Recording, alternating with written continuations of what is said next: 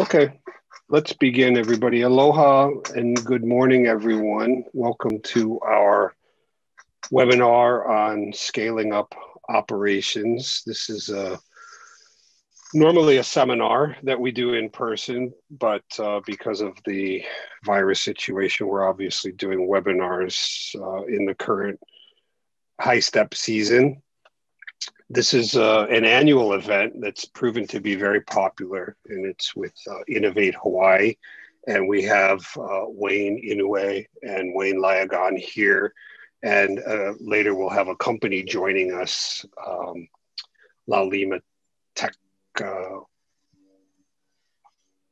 yeah, Laulima Tech. They'll be here shortly. Um, first off, I'd like to thank uh, Innovate Hawaii for being here. And of course, we thank DBED and SBA for the grant that allows us to put on this series of webinars. And to start, I'd like to introduce Jamie Lum from DBED, who can explain a bit about the HiSTEP seminars and the HiSTEP program in general, just to bring everybody up to speed. Jamie, please. Thank you, Rob. Aloha and good morning, everyone. And thank you for joining us this morning uh, for another one of our HiSTEP uh, webinar uh, series. We work with uh, the Hawaii Pacific Export Council to put these seminars on or these webinars on uh, for our Hawaii State Trade Expansion Program. And thank you, Rob, for putting up our website. Um, uh, everything that I talk about will be is is uh, on our website, and I encourage you to go there to the invest.hawaii.gov under the exporting tab to look up the HiSTEP program. So as Rob already mentioned, um, uh, the HiSTEP program is an export development program that's primarily supported by a grant from the Small Business Administration.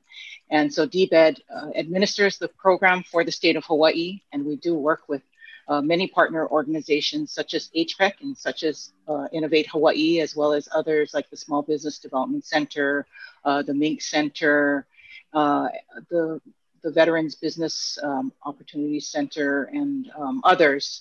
So um, uh, we have three parts to our program. Uh, we have our export readiness, of which this webinar is a part of that. And these webinars are meant to um, give companies information about uh, various uh, export related topics, as well as uh, we do webinars that address uh, various markets and their opportunities uh, for Hawaii products and services.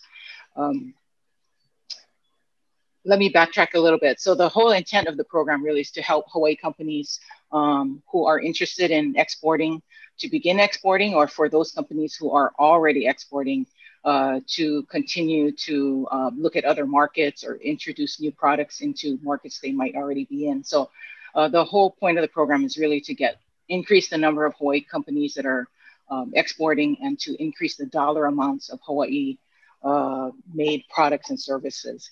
Um, so again, we have three parts to the program, our export readiness. Um, we do webinars. We also have one-on-one uh, business advising for companies that submit their registration form. We put you in touch with one of our partner organizations. Uh, so that will help companies to sort of uh, gear up. If you have an export plan, it will help you to uh, maybe um, kind of tweak it. If you don't have one, it will help you to put one together. Um, the importance of having an export plan uh, is to help give you some, you know, direction in uh, where you want to go. But it's also uh, a crucial part of uh, one of our other components, which is our company assistance, where companies can apply for uh, up to $10,000 to help implement portions of their export strategy. So that's a second component. Uh, the last component we have is our Hawaii pavilions. of course, this has been um, hampered a little bit by uh, you know, the pandemic. Many trade shows are not happening in person um, and are going virtual. Uh, you know, travel is restricted. Uh, but the uh, company, um, uh, sorry, our Hawaii pavilions um, are basically uh, trade shows that we select to go into. We, we, recruit a number of Hawaii companies and we go in as a group and exhibit under the Hawaii banner. Um, so step funds are used to primarily support um, participation in the trade shows. So um, again, you can go to our website and uh, look at all of these particular components in detail. And if you have any questions, uh, please reach out to me. Uh, but I'll turn it back to uh, Rob and Innovate Hawaii. Thank you so much. Great, thank you, Jamie. Okay, let's jump right in. Uh, introduce Wayne Laogon from Innovate Hawaii, and feel free to share your screen anytime, Wayne. Okay, thanks, Rob. And take over. All right, here we go. So sharing my screen. Hopefully everybody can see my first slide. Just double checking. We can, thank you. Okay, great. Um, so I, I, guess the topic for today is, you know, scaling up your operations. Um, in previous years, you know, we, we sort of attacked this um, topic from different angles. Uh, this year, you know, I was hoping because we're doing things remotely, um, you know, and everything, and everyone's, you know, doing uh, a lot of different things. I think if we can get a handle uh, on lean process improvement and how that will sort of benefit the companies now in the, the way they do things, um, that's what I hope everyone will get out from from today. So, uh, again, my name is Wayne Laogon. I'm a project manager at Innovate Hawaii. Uh, this is our general email. Should anyone have any questions um, after the presentation. Uh, there's also a phone number. Uh, again, most of the staff is working remotely, so if no one answers, uh, just leave a message and we'll we'll have someone uh, get back to you. And I'll, I'll go into more detail on you know how Innovate Hawaii relates to DBED, HTDC, because as you see on our website, you know it is uh, uh, we're, we're a program under the Hawaii Technology Development Corporation. So again, yeah, uh, as I mentioned, uh, Innovate Hawaii is a program of the Hawaii Technology Development Corporation, HTDC. Uh, HTDC is attached to DBED, so that's the connection with the state. At the same time, um, Innovate Hawaii is part of a federal program um, called the Manufacturing Extension Partnership.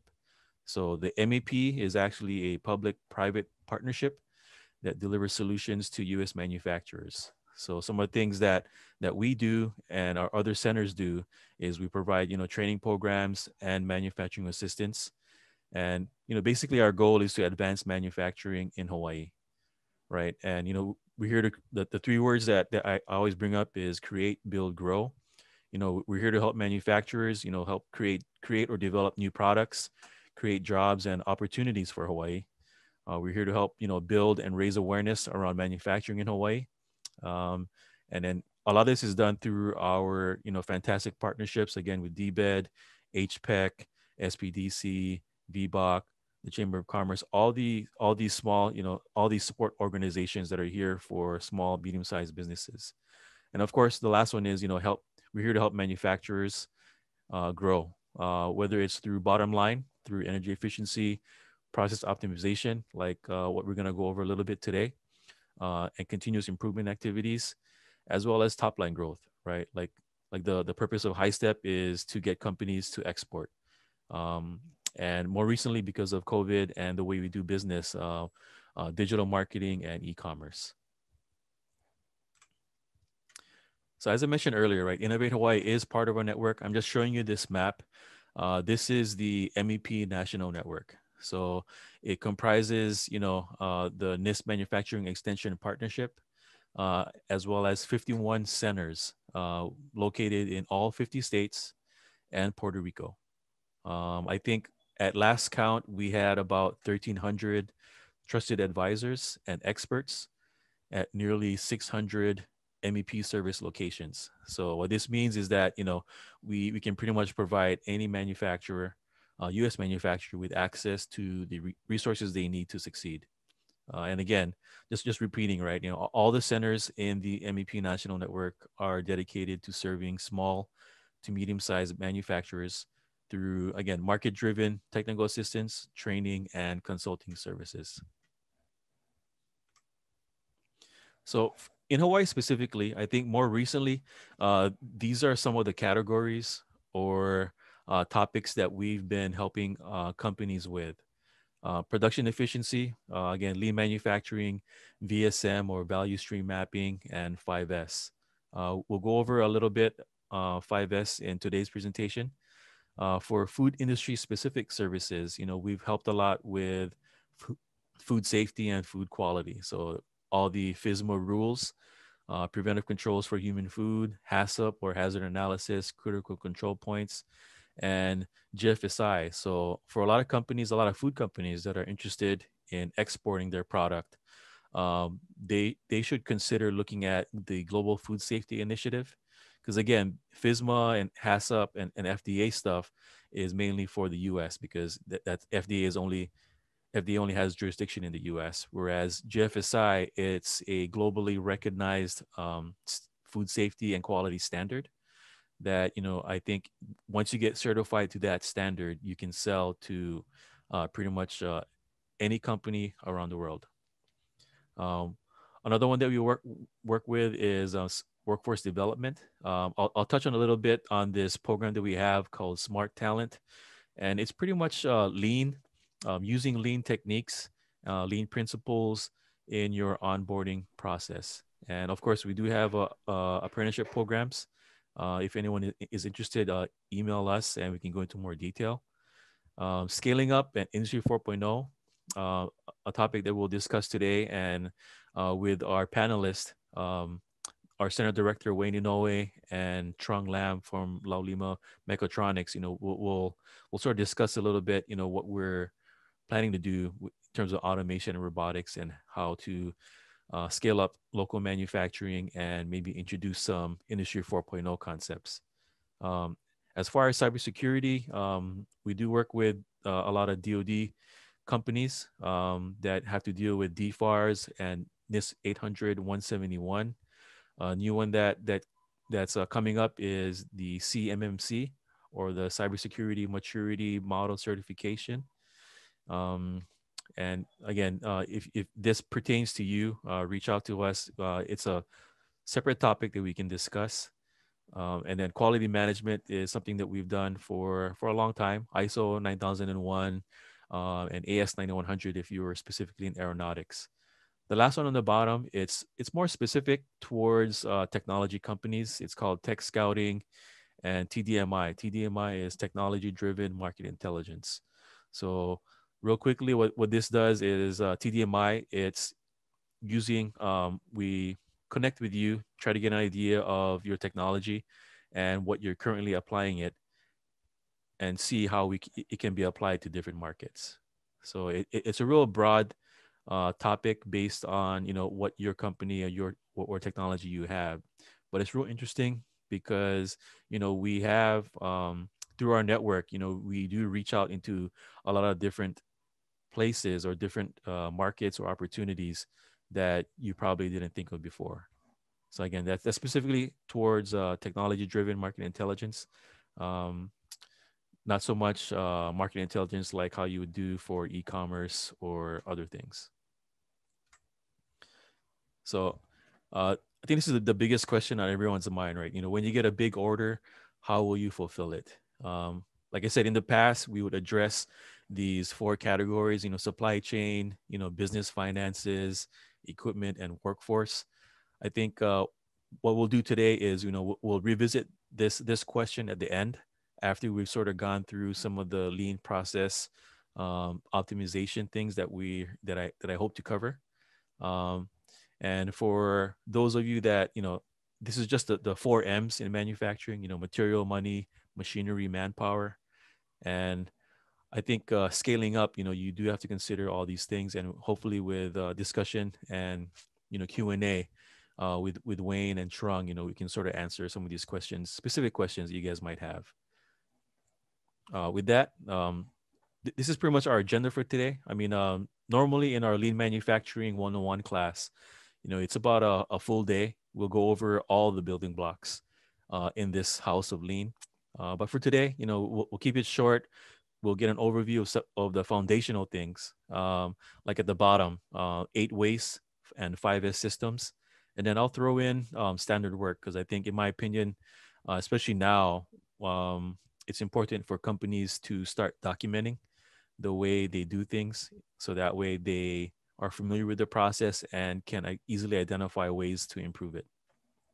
And again, yeah, um, if you have any questions regarding, you know, the four M's, material, money, machinery, manpower, uh, keep those in mind and we'll cover those in the Q&A at the end. So starting off, right, the definition of lean. So I, am just going to read this verbatim. A set of principles and practices which reduce costs through the relentless removal of wasteful activity and the simplification and standardization of manufacturing and support processes. And important thing is throughout the entire enterprise. So, you know, lean is a catch-all phrase, you know, we use to describe uh, methodologies and tools uh, to increase efficiency. Uh, again, uh, simplify tasks and reduce waste. Uh, and, and, and again, it's through the entire enterprise. So this means, you know, the, the entire value stream or even supply chain. So from supplier all the way through customer. So just keep these in mind, right? Um, again, the, the three things we're going to focus on today is removal of wasteful activity and the simplification and standardization of uh, manufacturing and support processes. So, so considering the value stream, right? You know, in order to define what is wasteful, you know, we need to know what brings value. Um, so a value added activity uh, from a lean standpoint is any activity that changes the fit, form, or function uh, it's done right the first time and it's something that the customer is willing to pay for right? Uh, a non-value added activity is activities that take time or resources but do not directly contribute to the product or for service. So again you know you can think of this right you know value added is a customer requirement you know is the customer willing to pay for it? Uh, from that from that point of view you know everything else uh, is non-value added and you know, I think starting off for companies who haven't had any exposure to lean, uh, this is a tough concept. Uh, as you know, for for a lot of organizations, you know, um, we've engineered waste or pure waste pure wasteful activities um, into our processes. Um, for machine shops, you know, like the, the, last time I did this training, or when I, when I learned to do this training, you know, we were at a machine shop, you know, one of one of the examples that I brought up was deburring um, or inspection, right? So based on this definition, right, if everything is done right the first time, there should be no need to inspect or clean something at the end of the process, you know. Um, but then in Hawaii, you have a lot of food food manufacturers cleaning uh, is required. Um, but but again, you know, from from these two definitions, right, cleaning uh, doesn't change the form, fit, or function of the product. So therefore, by, by these two definitions, cleaning or inspection is not value added. So um, just keep these, these two things in mind, value added and non-value added activity um, when we talk about the eight wastes in manufacturing or any process. So because of inspection and QA, QC, you know, we, we needed to add uh, third category. So again, value added, uh, if it's not clear whether a task is value added, you know, try imagining what would happen if you stop doing it. So would your external or end customer complain? So if the answer is yes, then it probably is value added. Um, for non-value added activity, you know, pick, pick an activity. If you stop doing it now with any customer, whether it's internal, like next step in the process, or external, know the difference. If if nobody can figure it out. If nobody notices uh, anything, then it's it's probably non-value added, and can, can probably be removed from the process. Non-value added, but necessary. Um, so again, th- this applies to a lot of things that are required by regulation. So if you stop doing it now, would your internal customer complain? Uh, if yes, it's probably non-value added, but necessary. So again, this is where the QA and QC uh, process steps come in. Um, because you know it's in real life you know there are things that we have to do even though we don't like doing it. So um, lean all started probably with you know toyota and the there was an american engineer uh, professor and management consultant. His name was dr william edwards deming. Um, from from his experience you know, he, he went to japan. He studied with with, with toyota and he was probably the one that brought a lot of the lean concepts to the US. Um, most companies, um, based on his experience, you know, he, he, he, he wrote and he used to always say that most companies who have not gone through a lean process improvement are about 5% value added. So it's kind of hard to grasp, right? If you look at your whole full day, um, when, when you make your products, it's saying that only 5% of your time is actually bringing value to the customer. Um, and the reason why I say this is if you consider a full workday, right? So eight hour shift, and that's about, you know, 60 minutes per hour, 480 minutes a day, right? Um, when you think about lunch and breaks, all those times are non-value added activity. Uh, if you think of meetings, uh, especially long meetings, non-value added activity, and everything else, like as we'll see when we, we start diving into the eight ways of manufacturing, you know, you'll see there's a lot of things that add up that take up your time, uh, that take away from making the actual uh, product.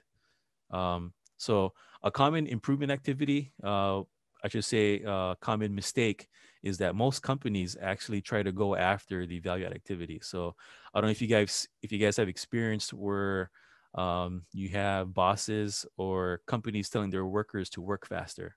So this isn't the point of lean manufacturing, right? Because considering 5% value added activity, if you tell people to work faster so they can produce more, you know, you'll maybe get a one or 2% improvement. But you know, if you think about it, right, you know, um, um, like a lemon, for example, you know, when you're squeezing a lemon, you know, isn't it easier to squeeze the first ounce of juice from a lemon than the last ounce? And the reason why is that there's more to squeeze from the first ounce, and it's the same thing. Same thing here, right? You know, instead of the last ounce would be the five percent. Um, so, where's the real opportunity? And this goes into the next slide. You know, why focus on waste, right? So, if lean companies or smart companies go after reducing the 95% non-value added activity, you know, they'll realize this much more savings. They'll get m- much more of their time back to produce uh, value added products.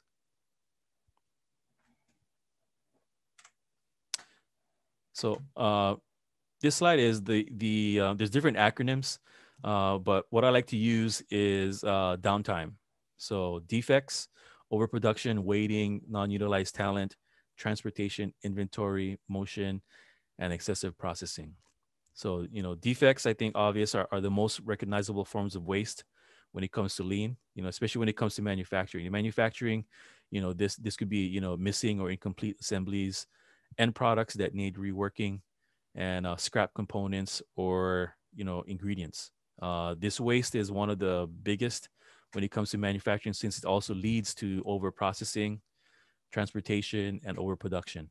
Uh, defects occur in the office also.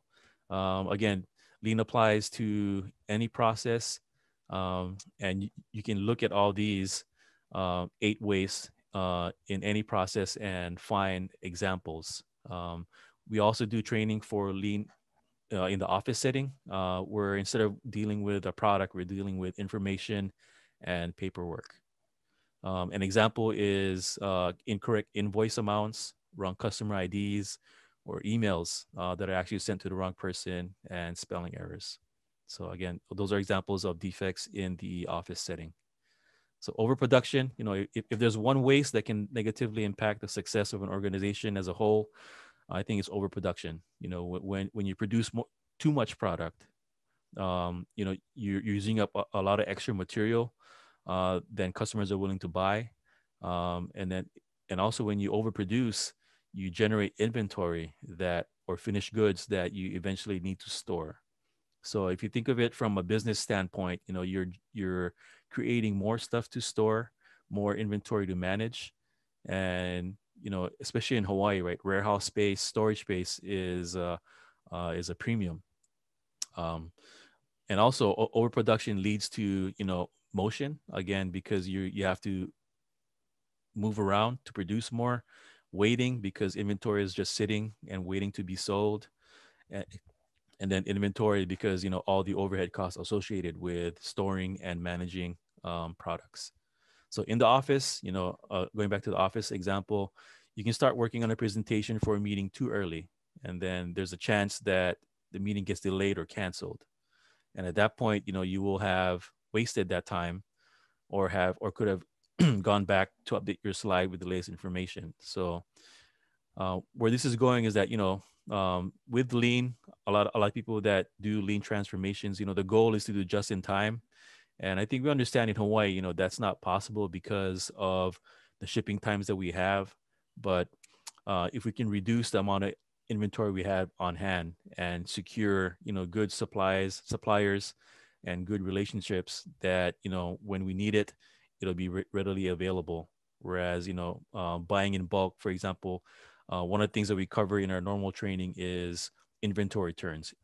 Um, I hope um, as companies scale up, they're not buying one year's worth of raw ingredients and storing it. So if there's a way to break that down into smaller chunks, um, we, have actually worked with some companies um, that have negotiated rates where they would commit to buying a whole year of material, but at uh, regularly spaced um, shipping interval. So that way they don't need a larger warehouse to store everything. Oh, excuse me. Sorry. Uh, the next waste is waiting. Um, down's pretty self-explanatory. You know, it's waiting for information or items to arrive from the previous step in the process. So, like, for example, when producing a product for customers, excuse me, any inaction that increases costs is known as waiting. Uh, this waste, this is waste because while the product waits for transformation, the organization organization is incurring overhead. Uh, essentially, any potential profit that the product would have made made from being sold is continuously stripped as you know waiting occurs. So waiting again, uh, as we talked about earlier, you know, eventually contributes to inventory waste. And on top of destroying the flow of information and products and materials, you know, waiting occurs in service processes as well such as waiting for approvals, waiting for someone to return from vacation, waiting due to confusion or indecision. Um, so again, manufacturing and office settings, right, or, or, any process, you know, there's a lot of waiting. Uh, and as I mentioned earlier, especially in uh, larger organizations, uh, there's a lot of waiting because uh, of the appro- approval process, and it's just the way that the systems were built. And a good example is we actually worked with uh, one of the community colleges. Um, we we did a value stream map, and we saw that you know the value added activity. If everyone was in the same room at the same time, um, the approval process for an 89 day hire uh, would take about 28 minutes. And I think from the value stream that we did of their current state, we saw that it took nearly 28 days for the approval process to go through. And the main reason why is because the application, the the forms would wait at different steps in the process. And um, one of the things that caused this was uh, batching, right? The people that were doing their approvals would wait till the end of the week to do all the forms and do all the approvals. Um, N or the non-utilized talent. Again, this this ways, you know, it affects uh, it affects different types of organizations in various industries. Uh, this this waste happens when you know management doesn't use all of its workers to their fullest ability. Um, so, think real short, you know, there's there's a saying about having the right people on the bus. This this uh, relates to that in saying that we need the right people in the right seats on the bus. Transportation is unnecessary movements of, of materials or information. Uh, when products, equipment, inventory, tools, and people uh, move further than they need to. Uh, this generates waste. Um, again, you know, just the time needed to go look or go find something, right? Inventory uh, pertains to items or information not being processed. Uh, and again, it's all about storage or holding on to things. Um, motion is unnecessary or excessive movements within the workspace. So a little bit different from transportation. Transportation is within the facility motion is in, in your work area or workspace. So this relates to ergonomics and, and having, you know, all the tools and supplies available uh, within reach to do the work that you're, you're trying to do. And the last one is uh, excessive processing. So when there are more steps or, or components or work being put into a product um, than is uh, required or needed for the process to continue. Um, a good example of this was there was a manufacturer that we worked with in, in uh, that made tires. Um, there was a worker there uh, at the end of the line. Uh, his job was to wrap every single tire with shrink wrap and, and, then stack it on pallets. So, you know that that was a, that was a surprise to me and, and some of the other um, MVP consultants that were working with the company because you know we we never saw that before. You know we never saw any any other company that wrapped tires. So we started asking questions we asked you know the production manager we asked the the general manager why why they were wrapping the tires at the end of the line and you know eventually we found out that that, that was the way they did it uh, the company was an old company you know it was, it was generational it started uh, you know from the grandparents passed passed down to the the uh, kids and grandkids and nobody really questioned it until until we did and um, the reason why they were wrapping the tires was because that's how they always did it and i think it was because uh, when they first started making tires they used to do white wall tires. So um, we don't see too much of those today but if you know what white wall tires are it's you know instead of being all black the sidewalls are white and they wrap the tires because during shipping they would they would find out that uh, the tires would get dragged or would get dirty and then uh, customers would complain so based on the customer complaints, they would wrap each and every tire. But that but that was a long time ago. Since then, you know the they found they you know they stopped making white wall tires with just regular black rubber tires, and they they they went and asked their customers, you know, how they what they thought about the extra shrink wrap, and a lot of them, you know, finally voiced that is actually wasting them time too because they they had somebody unwrapping every tire and then uh, all the shrink wrap would actually fill up their trash bins. So after that was questioned, you know, they, they stopped that process and it, it sort of increased their throughput because one of the bottlenecks that they identified was that wrapping process at the end. So quick example again of uh, value added versus non-value added activity, you know, uh, in, in a lumber yard, right? whenever the saw or the blade cuts wood, that's building value in the lumber that they're selling. Everything else on the right hand side, handling wood, cleanup, quality checks, banding bundles, moving bundles, changing blades, breaks, lunches, meetings, adjusting the saw, paperwork. You know, from, from our definition of value added versus non value added, everything on the right would be considered non value added activity. Uh, some of these, again, could be um, non-value added but necessary. But with with this in mind, you know, one of the things that lean looks at is how to reduce or eliminate some of the non-value activity. Uh, one question I always bring up is does the operator, the person that does the value added work, need to do all the non-value added work? Um, and this is where um, in our regular trainings we go over, you know, the the support persons that can help people, you know, do some of these things while the person that has all the skill and expertise can continue doing what they're doing. So again, know, hopefully you guys can see, you know, that lean uh, applies to a lot of different different um, industries, right? Or or uh, processes, product development, like engineering services, order taking and scheduling, manufacturing, logistics, administrative systems, uh, human resources. Again, the onboarding process, uh, everything. Um, a process is a process is a process. And uh, I mean, a good example is Subway, right? They, they have Subway sandwiches. They have single piece flow with standard work. They even have visual controls. I don't know if you guys ever noticed on the counter, they have uh, a little jig where they line up the bread, and then they have a, a little notch there where they can cut the foot long sandwich into six six inch or even into quarters and thirds. Uh, hospitals are another example, right? Each room is set up the same way with all the supplies in designated locations so that whenever you know uh, a response team is in there or support team you know they don't have to search for equipment or supplies. Grocery stores you know they do first in first out they replenish from the back and pull from the front. Um, and then uh, you know just i'll just throw in a quote from uh, dr deming right? If you can't describe what you're doing as a process then you don't know what you're doing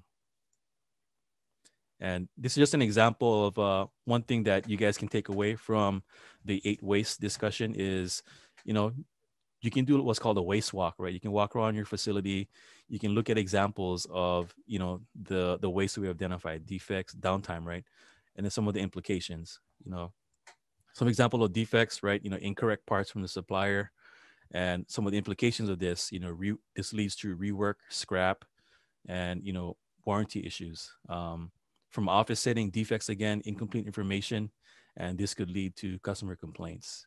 So just something simple that we usually do with the companies when we're on site. You know, when we do assessments, you know, we we bring this along and then we, we just walk around with you and see, you know, we, we just, you know, look at um, downtime and see where uh, improvements could be made. Uh, this one I've shown in the past, you know, how can a plate of spaghetti help lean your process? This one relates to, you know, office layout or plant layout, right?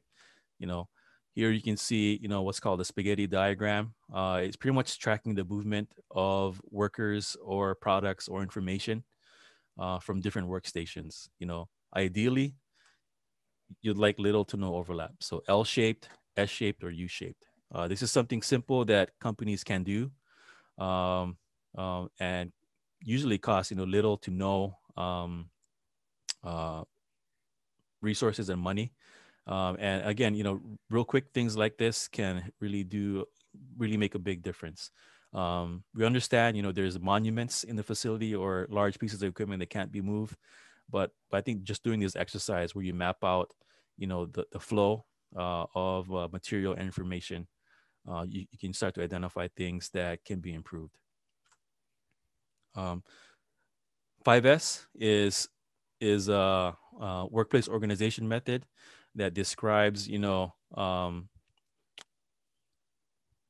workplace organization that that sort of, you know, describes, you know, how to organize your workplace for efficiency and effectiveness. And um, again, this was developed in Japan. So the five S's are sort, set in order, shine, standardize, sustain. And you know, th- this is probably the reason why this is a foundation for continuous improvement is because uh, it doesn't make sense to try and uh, make the other processes more efficient when when you're still looking and and um, finding um, tools, materials, um, and things you need to complete the work uh, within the facility. So, real quickly, I mean, sort is to keep only the necessary items in place. Uh, again, the hopes of um, doing this is to reduce time looking for something. Uh, reduces the chance of distractions and it also helps simplify inspection. Um, set in order is to simplify or arrange items that promote efficient workflow. Uh, again, the, the keys here are smooth and easy. And this is where point of use comes in. So again, point of use relates to having all the items that you need to complete the work within reach and, and putting more frequently used items closer to the workspace.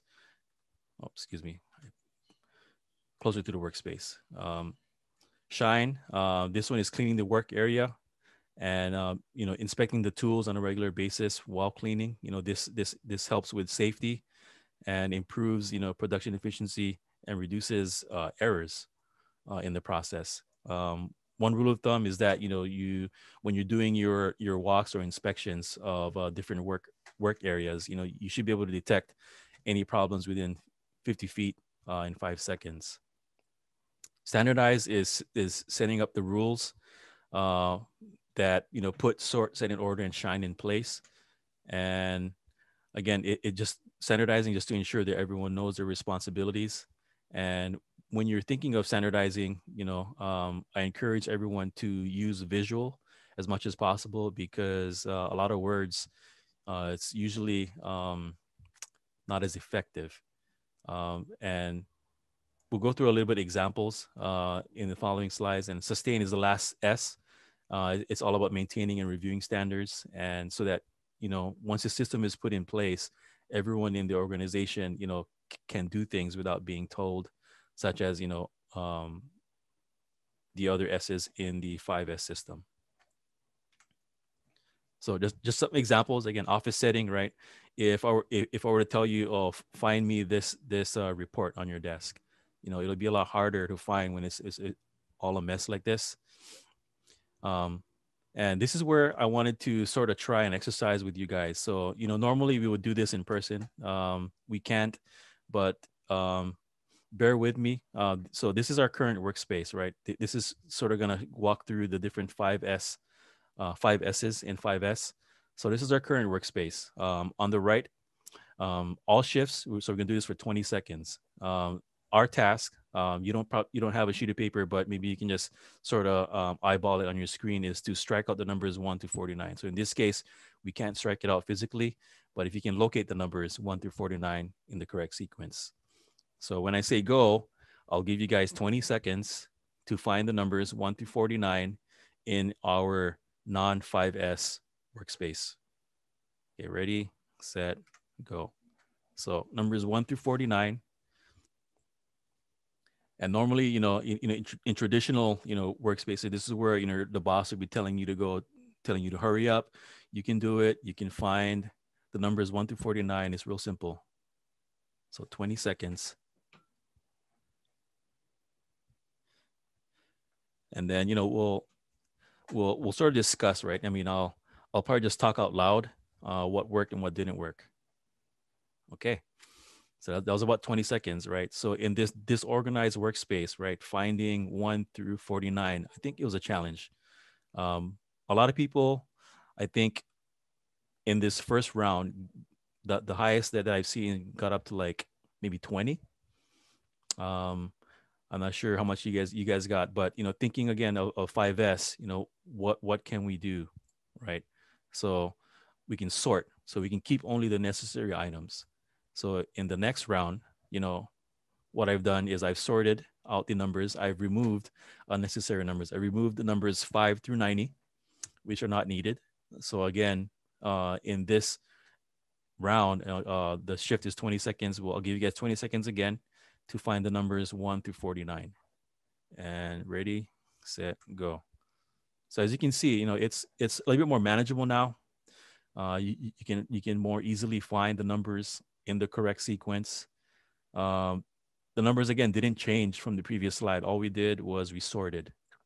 We removed the unnecessary numbers. So in this case, in real life, this would be removing unnecessary tools, unnecessary products, uh, or things that don't um, that you don't currently use in the current work workspace.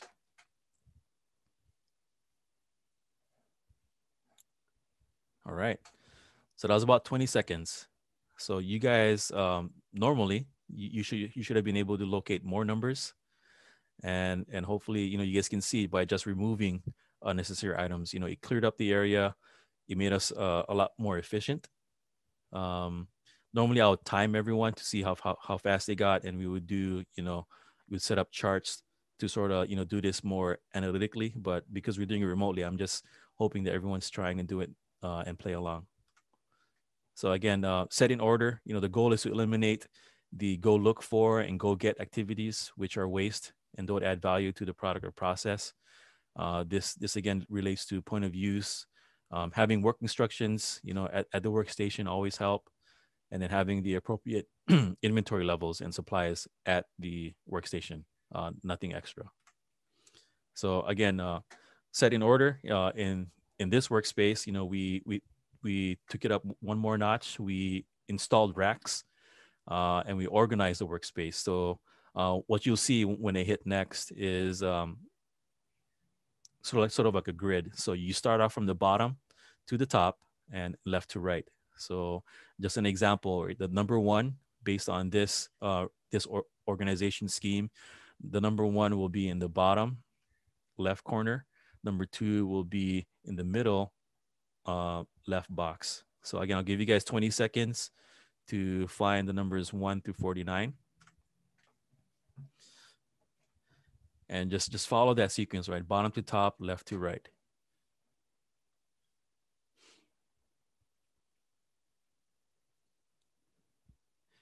And hopefully you guys can, can start to see right you know as as we move along in, in 5s this is a real simple example but what what this exercise hopes to show is that you know through simple things uh, using 5s systems as the foundation you know you can improve your processes dramatically.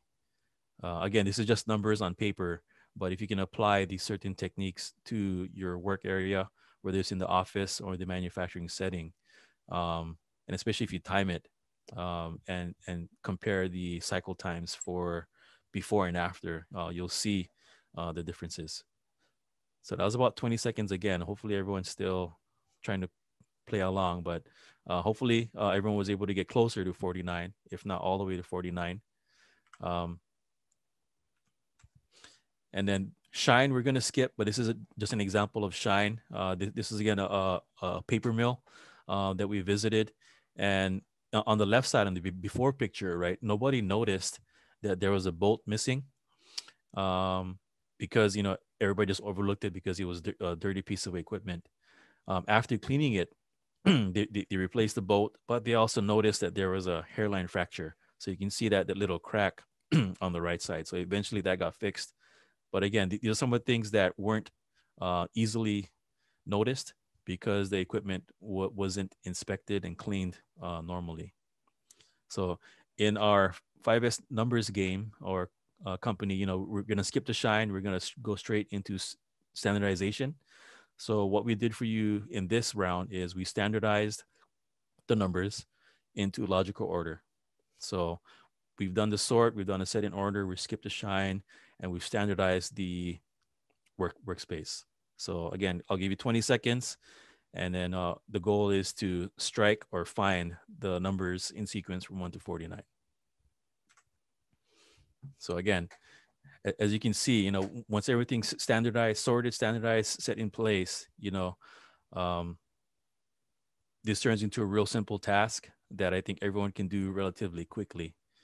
Um, so this completes pretty much the exercise for this one. But but you know, looking at this, so what's the big deal, right? If when we remove wasteful activity from the process, you know that re- that resulted in more value added time. This gave you more time in the 20 seconds to do. Let's say we we had multiple sheets, we could we could cross out more numbers. But at the same time, you know, uh, we can do this. So we're back at the original workspace, right? Let's say I give you guys 20 seconds, and this time we're we're quality managers. You know, if I ask you to perform a quality check, um, what numbers um, are missing? So again, by applying 5S, right? This is the non-5S work workspace.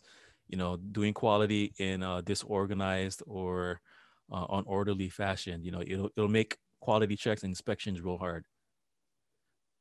I'm going to skip ahead real quick. so after, let's say we implement 5S, right? Remember our standardization example? As you can see, once we sorted, we're set in place, we standardize. L- looking at this, you can quickly see which numbers are missing. So in 1 to 49, we can see that the number 13 and the number 36 are missing. So again, you know, just these three things, right? Three things are are the I guess the the basis for 5S. Again, standard work. Uh, we skipped shine uh, because in this case it didn't apply, and then sustain was, was the other one. But hopefully, in this simple example, right? You know, you know, for you, uh, what this means, right? looking from before and after, uh, you know, it, it's, it's, a more pleasant work environment. You know, it makes the job certainly easier. Uh, for the company, you know, it, this means lower costs since you know more value added time is gained uh, you improved safety by retention by reducing potential hazards right? If this were a real workspace and this was like tires or wires and you know equipment all over the place you know um, that, that that's a lot of trip hazards and some of the things that you know you would you normally do for for safety. Uh, increased standardization again helps. And also the workspace on the right will make training employees a lot easier So standard work sequence, right? I'm, I'm, just gonna go over this real quickly. You know, if if you it's do it's a specific order in which the operator performs the steps of the process. Uh, safety is at the highest priority, and then quality, and then sustainable pace.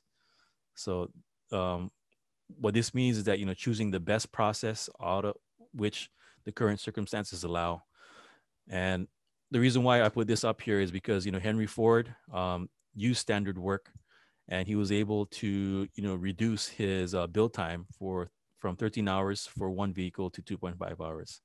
And it's all about you know standardizing the way they do and continuous improvement by slowly building uh, improvements into the process and reducing waste. Um, i'm going to skip ahead because we're, we're at uh, 953 right now but we have uh, wayne inoue and trung lam. Um, I'd like to introduce them on the call. And uh, remember those four M's that I talked about uh, in the beginning um, materials, money, manpower, and machinery. Um, maybe maybe Trung, maybe you can introduce yourself, uh, your company, and uh, some of the things that you're doing to help us with uh, automation and robotics. Because uh, I know that's a topic that I think a lot of people are interested in when they tune into the scaling up operations. Uh, sure thing. Thanks, Wayne. my name is Trung Lam. I run Laulima Mechatronics. We are a automation consulting company and with a focus on implementing robotics, uh, specifically cobots or collaborative robots into manufacturing uh, facilities. Uh, we're looking to help companies scale up uh, by automating repetitive tasks that uh, have a high risk of repetitive stress injury or um, that are mundane enough where it's difficult finding workers who want to do the work. So that is our target focus right now. We currently have uh, one robot on order that we are going to be implementing into a food manufacturer here in Honolulu. And we will also have it on display in partnership with Innovate Hawaii at the Entrepreneur Sandbox when it comes in. So keep an eye out for that. You can come take a look at the robot, uh, play around with it, and see how it could help you and your business. Thanks, Trung. Um, I guess I'll, I'll, just ask questions. You know, you hope to sort of stir up the Q and A portion of uh, this this webinar. But um, maybe for Wayne and Trung, you know, if you guys can talk about, you know, what are some of the reasons um, you would uh, you would consider automating if you were a manufacturer, right? Is is it, is it just mainly increased productivity? You know, what are some of the things that you know you look at, or you encourage companies to look at when considering to automate? Uh, for me, it, I usually look at what stage they are in terms of their their scale. Uh, if, if they're producing high enough volume where it justifies the the price of the equipment, that's probably the biggest one. But I try to listen to the stories of, of the managers or the owners that I'm talking to. If if they sound like there are big pain points that are keeping them up at night, or that's really slowing them down or stressing them out, and beyond just the quality of the product, but a quality of life of both the employees and the owner.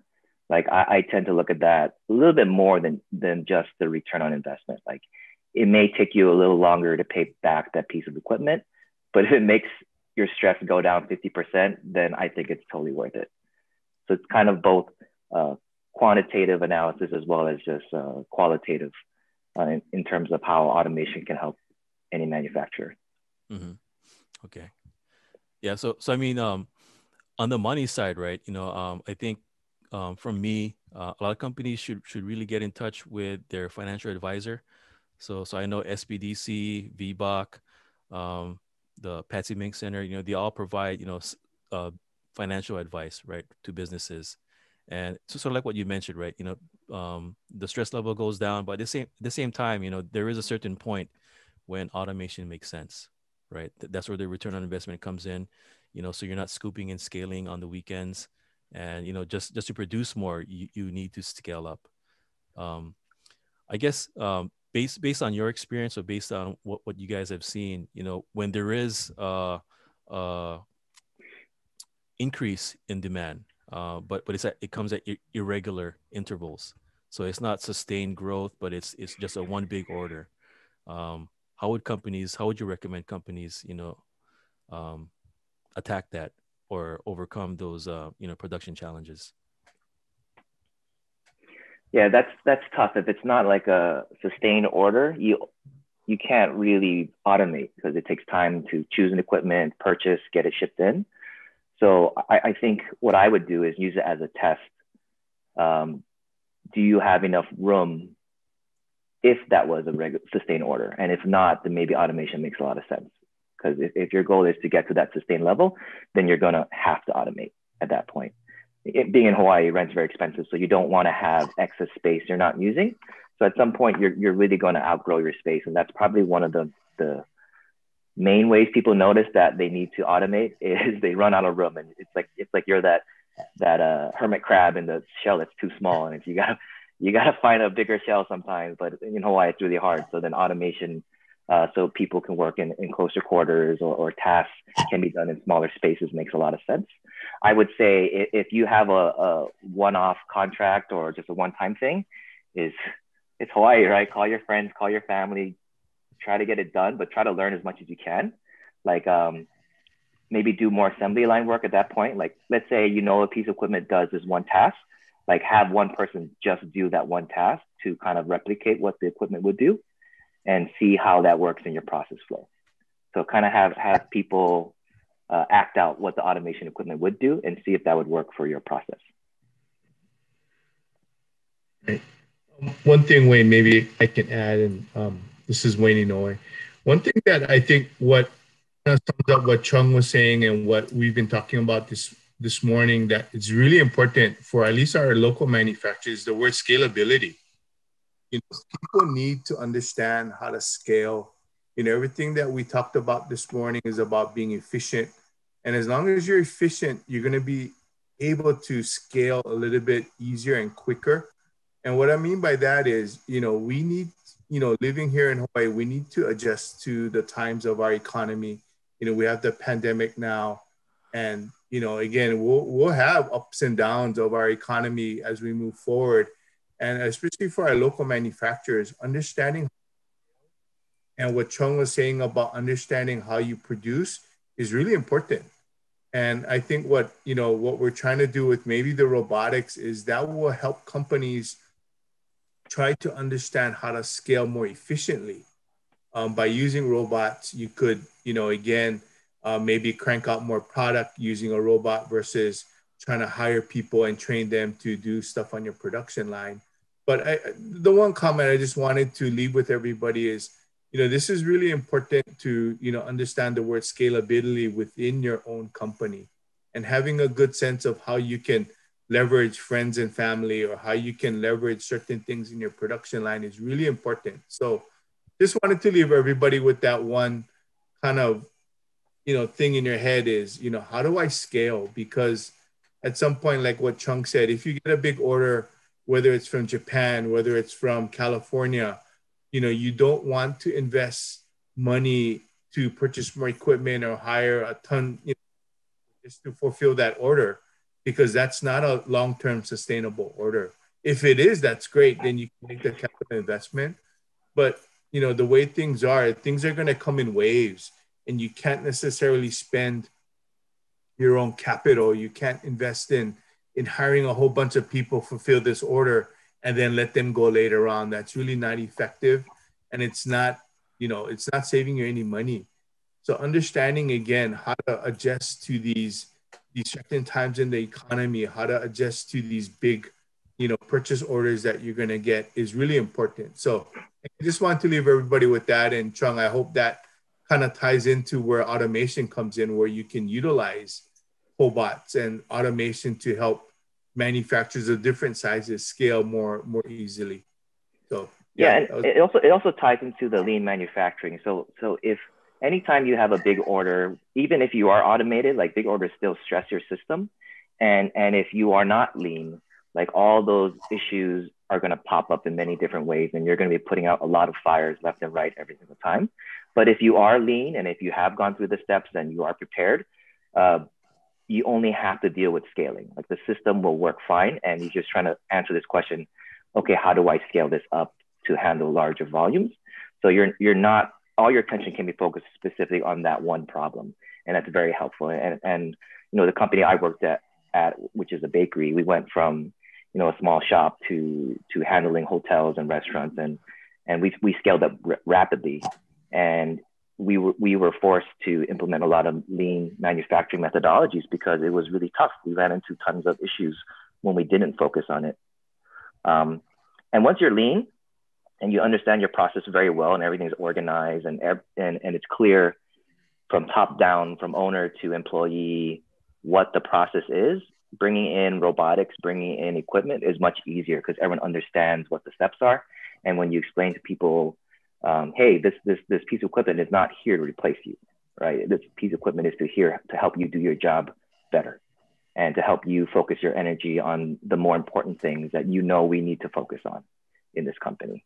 It, it, it makes buy-in from, from the staff as well as ownership much, much quicker once everyone understands the process of manufacturing and it's clear and it's organized. So I, I think, I think um, automation and lean manufacturing go hand in hand. Thanks, Trung. Yeah, she took some of my notes, but hey, sorry, sorry. Stealing the thunder, but yeah, no, I mean, th- thanks. I mean, it, it, was well said. I mean, uh, since you brought up the bakery, I mean, um, one of the things that you know, um, I've seen companies go through when they're scaling up, right, is when they have to make larger quantities. You know, because scaling up simply says that you're you're making larger quantities of your product in a similar time span. You know, but scaling up, you know, I think it leads to changes in how you make your product along the way. You know, for example, if you're making one, one, one bread a day using your KitchenAid mixer and a regular oven, you know, chances are you won't be able to make a hundred of those breads using the same equipment. Um, some companies that, that I've run into think that, you know, I just, if, if I need a hundred bread, I'll just buy a hundred KitchenAids, but that's not the way to do it. Right. That, that that's scaling isn't just multiplying, right? It, it, it also involves, you know, uh, properly specking out equipment.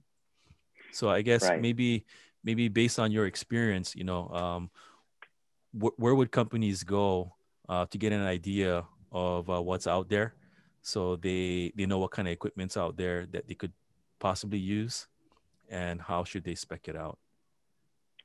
Yeah, I mean, there's so many ways. Uh, the easiest one is definitely the internet. If you're your early days and you're just after a hard day of work and you're tired and you have a very specific task in mind that really like wrecked your body or like it's hard to find employees who want to do it, you can always Google it, right? And it, and if you and if you can find something, then you can reach out to folks like Innovate who can help uh, explain uh, the, the, equipment, what it can do. They have consultants that can help you, um, often at no cost, to help you choose the right piece of equipment. But I think spending that uh, bit of time at the beginning just to understand if kind of just that equipment that you're trying to, or the task you're trying to automate, if that equipment even exists. And if you can find something great, if not, then there are consultants who can help you as well. And once you work together to kind of find that piece of equipment that, that everyone agrees is, is the right fit for your business at its current size, then there are local distributors who can bring the equipment in for you. They can install, they can service. And there's even online stores you can buy from as well, but you kind of just lose that service component. So mm-hmm. the beauty of the internet, there's lots of ways uh, to, to get an answer for your problem because I know in the past, uh, I know I know uh, two years ago, you know, we brought up a small group to Pack Expo. I mean, it, it, was specific to packaging and processing equipment, and I think that's one way too that I'll throw out is uh, you know attending you know expos or trade shows for for equipment manufacturing or equipment vendors and manufacturers. Um, that's one way to get to get a feel for what's out there. Uh, they usually have live demos, and you can you can speak with a lot of salespeople who tell you all the right things. Um, so just just be wary, right? You know that you know everything there is nice and perfect, but it's also good to dig a little bit deeper and see if you can get you know references for other yeah. companies that have the equipment and you can talk to them about how it is uh, through daily use. That's crazy. You know, from Hawaii, like everything we think big is like Blaisdell Center, right? But you go to these expos and, and, those places are big. So you're talking about like five or six exhibition halls of just packing equipment. So it's like a three day, four day event where you're walking like nine, 10 miles a day just to see everything.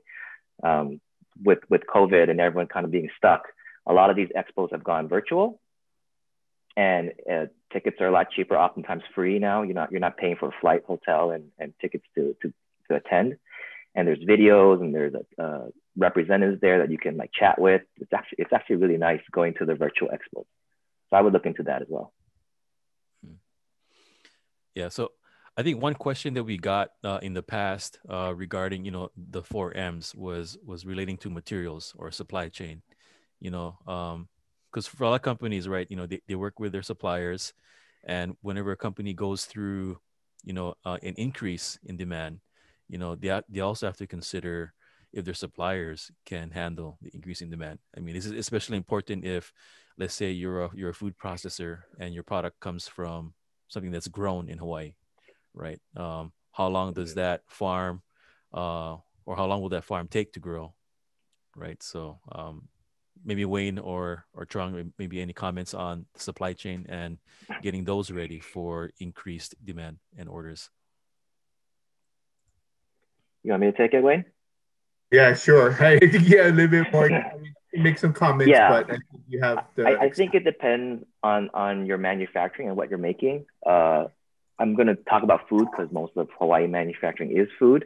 It's it's a it's a big challenge uh, when you're using the the closer you get to the farm, the, the bigger the challenge the challenges. For for an example, we, we were trying to make a product that required local honey, and we had a customer who wanted it, and and if they were to buy it, it wouldn't be for like one or two stores. It was going to be like for 400 stores.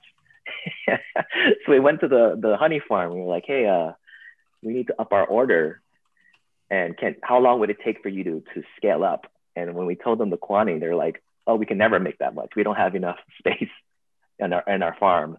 So I, I think talking to your your suppliers, like having a good relationship is very important, especially if you're in food, especially if you're trying to buy local, especially if you're trying to buy fresh. There's a lot of uh, inventory issues when it comes to that. And there's a lot of value as well, getting local and getting high quality fresh products. Um, just, but just understand that if, if that's the route you're going, there's going to be inventory challenges. And, and the best way is just to maintain a good relationship with your suppliers.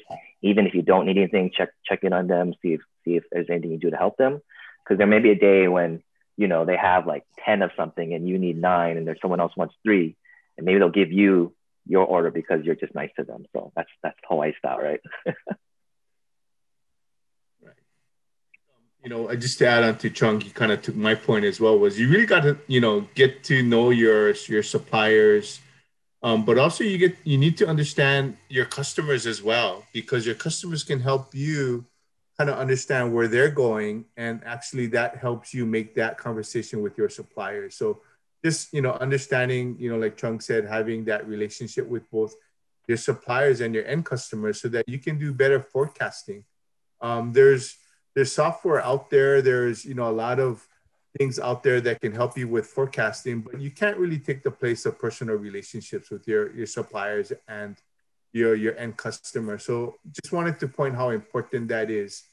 And, and one thing, you know, you got to remember we're in the middle of the ocean. There is no such thing as just-in-time manufacturing, right? Um, you know, many companies on the mainland that we've worked with before, they do what is called just-in-time manufacturing. So their supplies or their raw products are shipped in maybe the day before they, they start producing. For us, it's a little bit different, right? Everybody, everything, the majority of, of stuff that we use or manufacturers use come on a boat. So we can't necessarily do just in time manufacturing because that's just not possible. We can't, and there is no overnight FedEx, right? It's usually two to three days so just something to remember, right? So, you know, just in time manufacturing doesn't work here in Hawaii. So we need to pay, you know, exceptionally more attention to ordering, forecasting, and, and getting to know our suppliers and, and, and customers so we can, you know, get a leg up on kind of where you think this, uh, your manufacturing schedule is going to head. So just wanted to make that yeah. comment. Oh, thanks. Yeah, and if you're at the scale where you're you're able to buy direct, and it's not a year's worth of inventory, or maybe it's like two or three months of inventory, it does make sense to invest in ERP solutions to kind of help you forecast, track inventory. But if maybe you're not at that scale, a lot of our local distributors do a very good job of forecasting. So if you work with the the the H and W's, the Sysco's, and the Y. Hatas, uh, and the produce distributors, they they they kind of know what their customers use so they can forecast and, and it's not quite just in time, but you know, it's within two or three days of, of getting you what you need. And, and they have a pretty high rate of success in, in making sure they're not out of stock. Um, so it may be if you're at a stage right now where you're just ordering things online uh, on a small scale and you kind of want to take that next step, maybe approach one of those uh, local distributors. Great. Yeah. So so I know we touched on a little bit about supply chain, uh, business finances. You know, we, we mentioned you know that they should speak to their their financial advisor to see you know where where the company is, and it, it makes sense to make large capital investments. Uh, we talked about equipment. Um, the last thing is uh, manpower or workforce. Um, you know, um, with with automation and robotics, you know, especially the one that you're you're looking to bring in, you know, what's the learning curve for that? Maybe talk, talk a little bit about uh, ease of use or um, ease of reconfiguring the cobot that you're looking at. Uh, the cobot we're bringing in is designed for bakeries and the way this one is set up, the, the company handles most of the software development, which makes sense since we're just starting off. there's not a lot of people familiar with the software here. So to start off, the company can handle a lot of the programming for you. But this robot at some point is able to be programmed on site by technicians. And, and the beauty of cobots is, is unlike other robots, they're designed to work near and with other people as well. So the safety factor is very high. Um, for, it's it, it's designed to move in a way where it can be food safe. So with food production, you don't want any kind of non-food grade oils uh, over food. So this robot, uh, the software is able to move around where no part of the robot is ever over the food, which I think is a huge benefit uh, compared to other solutions. And um, yeah, so we're integrating in food production and bakeries for now, but the, the product, the beauty of cobots, since it's just a robot arm, it's very flexible.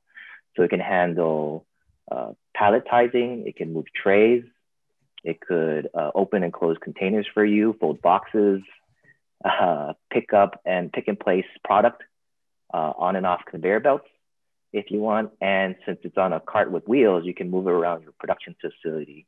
So you could have it handle multiple processes and just have one robot at a time. It's, uh, flexible and cost effective in that way.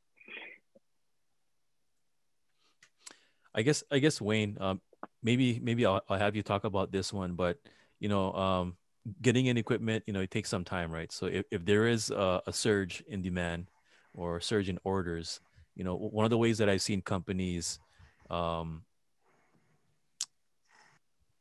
complete the work and, and you know fulfill the hmm. orders is by adding on you know additional shifts or bringing on uh, workers so i mean that that's why that's why i think you know um, smart talent maybe you can talk about smart talent way you know how, how can smart talent help companies you know onboard uh, workers faster and and actually keep those workers. Yeah so again um, smart talent is a, a program that was designed um, in oregon and it basically works usually you know when, when you talk about you know onboarding you usually think about okay i'm going to have to train these new um, college grad students coming on board or people that have no experience. Um, but what smart talent is it's it's kind of the it's actually working with the company owner and you know working with the their hr department working with their ceo to really understand their onboarding process and career development. Um, you know, based usually, you know, when when we talk about hiring people, you kind of like have kind of an idea of what their daily chores is going to do, what what you want them to do, but you don't necessarily talk about career development when you hire somebody. And again, this is all depends on the type of position, but normally, you know, when you hire somebody, you want them to be with you for more than a year, more than two years, maybe three years if you're lucky. But normally, you know, and I've been through the same process where you go into an interview and, you know, the manager or whoever you're interviewing with is going to say, well, this is what you're going to do. Um, you know, you're going to, you're going to do this or you're going to manage this project. But they don't necessarily tell you about your career path. You're probably going to start here doing this task for a year, but here's your potential of where you could be in three to five years. And that's where I think, you know, smart talent really works with the owners to really set it up where you you really want to groom somebody when you bring somebody on board because again i think when i don't know what the exact number was but i think they said when you bring somebody on and you spend the money to train it's about 50% of their salary goes to just training. And you know if you train somebody for three months and they leave that's pretty much 50% of their yearly salary of what you were going to pay them down the drain right? And so you know you want to make sure and smart talent is a curriculum that again was was developed in oregon that works with managers to really kind of set up that career path for you um, to really understand okay is this person fit for what they're trying to do but also you know, put structure into onboarding. Right now, there's really no emphasis on structure, but this really, this program really helps you understand, um, you know, what needs to be done. And again, we talk about the millennials, we talk about the, the newer generations of, of workforce. They they think a little differently, right? They're they're thinking about, you know, what am I gonna gain by by joining this company? So you really need, or the employer really needs to take time to really work with who you're bringing on, understanding the type of person that you're bringing on, and not just think, you know, yeah, we're just going to attempt to do that and we'll see how long it lasts. It's really different now, right? Maybe before in the olden days, it's, you know, that's kind of what was very effective. But now with the, you know, with the younger generation, they think differently. They want to see different things. They want to see growth right? So I think it's really important that you know we and, and that's why um, smart talent was was developed was to really again work with the company hr person the ceo to really kind of set up this curriculum or this structure before you onboard so you know again we have a program um, it's called you know it's the smart talent training i think nicole who is part of our program runs that program we have a training I'm not too sure when the next training class or overview is, um, but it's really it's really cool. It's a really good, effective way, and it's been proven out on the mainland that it really helps with the onboarding process and keeping your you know your um, your new staff employed for a longer period of time. So, um, if you want more information, we can definitely throw up um, the link on the chat, or you can email um, Wayne Layugan to um, maybe get more information about Smart Talent. Th- thanks, Wayne. Yeah. So so definitely, uh, if you have you know, um, if workforce is one of your pain points or or one of the areas you'd like to improve, you know, again, uh, just summarizing what Wayne said, you know, Smart Talents helps to grow your business by you know looking at your onboarding process, you know, your your training, and and you know your your career ladders, you know, and I think three words that describe Smart Talent, you know, it focuses on attracting uh, employees uh, getting them effective training, and then engaging with them so they stay with the company.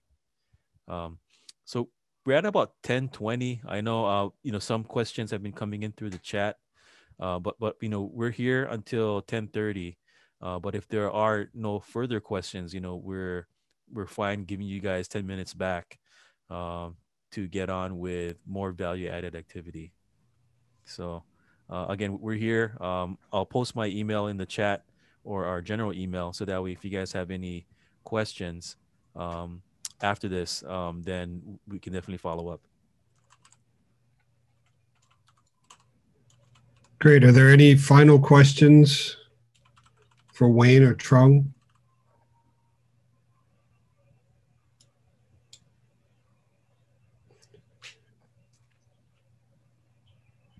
Nope, that's it then. So with that, we'll close today thank you very much to Innovate Hawaii, uh, Wayne and Wayne and and Trung. Thank you very much, Trung, for joining us today. That was very informative. I was glad to learn more about your company, and uh, it's very exciting that we have companies in Hawaii that are working on robotics and these types of advanced activities. It means we're definitely moving forward. Uh, I'd like to thank again uh, Jamie Lum and uh, DBED, as well as SBA, for the funding that allows us to put on these programs. So, with that, we'll wrap it up today. Please look for the video in about a week uh, to be uploaded to our YouTube archive and um, on the DBED website. And Wayne, you'll forward to me the uh, presentation and we can share it with anybody who needs it. Yep, absolutely. Great. Thanks again, everybody. Mahalo. Thank you, everyone.